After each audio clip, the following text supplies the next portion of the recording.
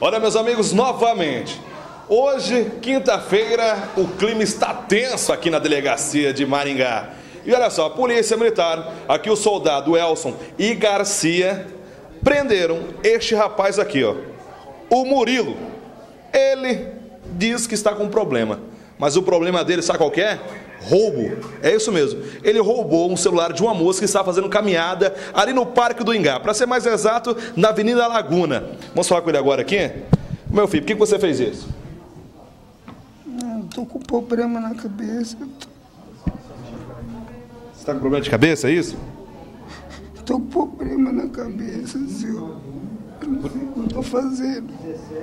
Você usa algum tipo de droga? Não uso não. Bebe? Só bebo, senhor. Aí você resolveu fazer um roubo hoje. Por que que você fez isso? É sem passagem para a polícia, jovem? Tenho, tenho. Tô com problema na cabeça. Agora você está chorando, está arrependido do que fez. Aguarda um minutinho. Você vai mudar de vida? Vai? Vou, vou porque eu quero. Tô com problema, eu só quero me tratar. Bom, gente, olha lá, volta pra mim aqui. O negócio é o seguinte: o peão faz arte, né? Foi lá, praticou o crime, roubou, pegou o celular. Tá aqui o celular, ó. Cadê? Tá aqui, ó. Inclusive são dois aparelhos celulares. Cometeu o crime. Agora, depois que a casa cai, é assim, ó.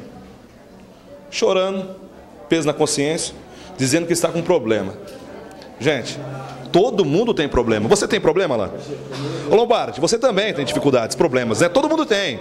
Mas nem por isso vamos sair praticando crimes na cidade, né? Trabalhando com a imagem de Alan Johnny Wilson Neves para o Maringá Alerta.